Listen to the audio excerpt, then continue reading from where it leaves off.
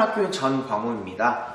오늘은 앞꾸미문만 넣어도 멋진 연주곡이 될 수 있다 라는 강의를 가지고 오늘 색소폰 학교 여러분들을 위해서 강의를 만들게 되었습니다. 어, 먼저 앞꾸미음이라는 것은 제가 앞에도 강의를 했던 적이 있어요. 그런데 저는 이렇게 생각합니다. 어, 굉장히 어, 이거는 저의 개인적인 생각이에요. 개인적인 생각인데 우리가 아마추어 우리가 색소폰을 하시는 분들은요 앞꾸미문 정도만 곡에 넣을 줄 알아도 듣는 많은 분들에게 감동을 줄 수 있다고 저는 생각을 해요. 그 이유가 뭐냐면 앞꾸밈이라는 게 간단하게 그 앞을 꾸며주는 거예요. 노래가 예를 들어서 어, 어, 뭐 동, 뭐 과수원길이라는 노래를 제가 한번 해보도록 할게요.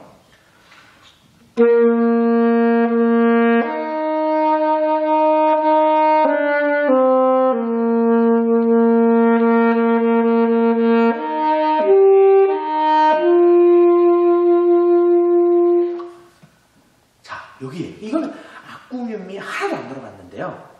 어디에 악구음을 넣어줄 거냐면 솔, 솔도 할 때 앞에 솔 앞에 파샵을 넣을 거예요.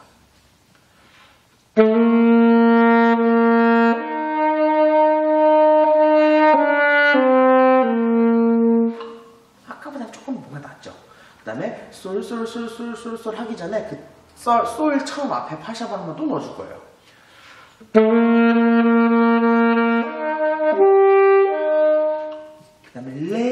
건데 도샵레 이렇게 할 거예요.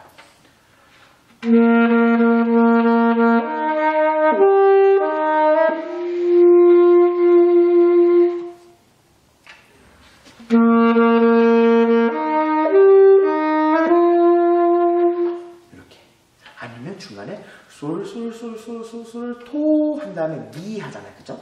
솔솔솔솔솔솔 도미 할 때 미 앞에 레샵을 넣을 거예요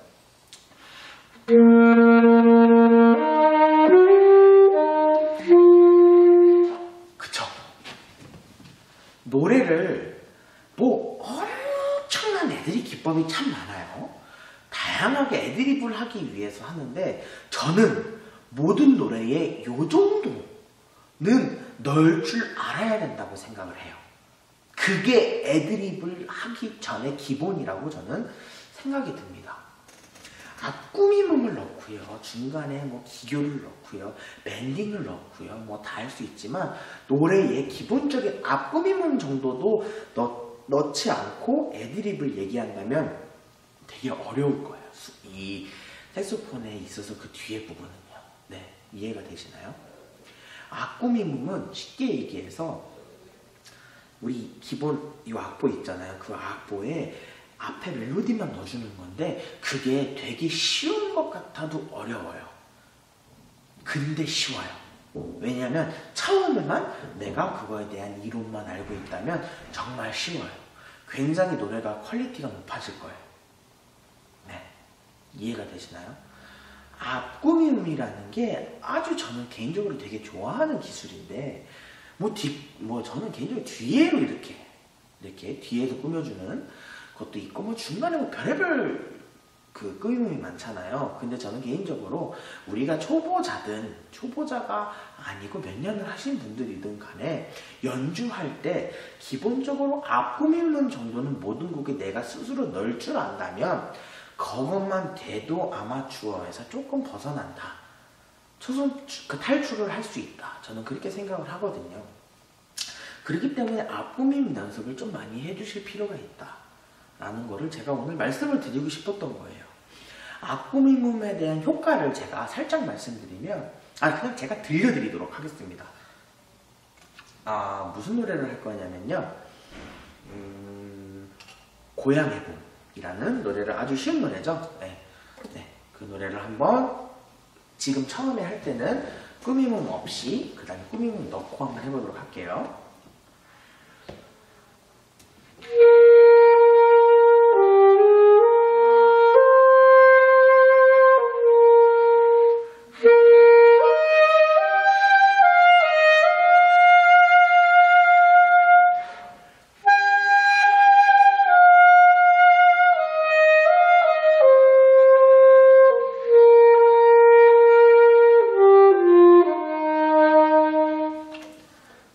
요거는 아무것도 안 넣었어요. 그 악구임 이런 것도 안 넣었는데 여기서 이제 악구임을 약간 넣으면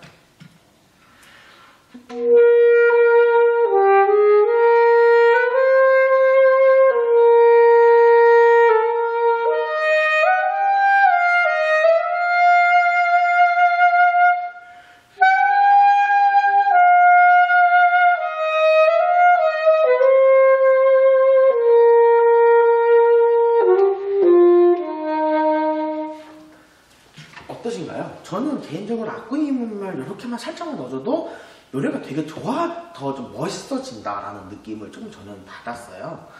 음, 뭐 여러분도 생각이 다 다를 수도 있겠지만 저는 어, 색소폰을 하시는 분들이 기본적으로 악구임 정도는 좀 넣어서 연주를 할 수 있으면 저는 좋겠다 라고 한번 생각을 해봐서 이런 강의를 만들어 봤습니다.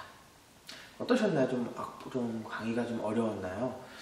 되게 어렵게 생각을 안 하셔도 돼요. 왜냐면, 어, 강의이기 때문에, 예, 봐도 봐도 계속 봐도 계속 봐도 계속 계속 보고 이렇게 제 거를 따라 하셔도 되시고, 뭐, 뭐 물어보셔도 되시고, 뭐, 해서 하도 되는데, 제가 말씀드리고 싶은 거는 뭐냐면, 너무나 어렵게 생각하지 마시라는 거예요.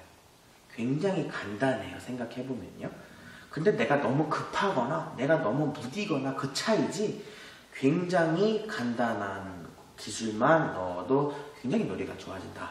라는 것을 제가 강의를 통해서 말씀을 드리고 싶었습니다. 어, 다 이해가 되셨을 거라고 생각을 하고 오늘 강의를 마치도록 하겠습니다.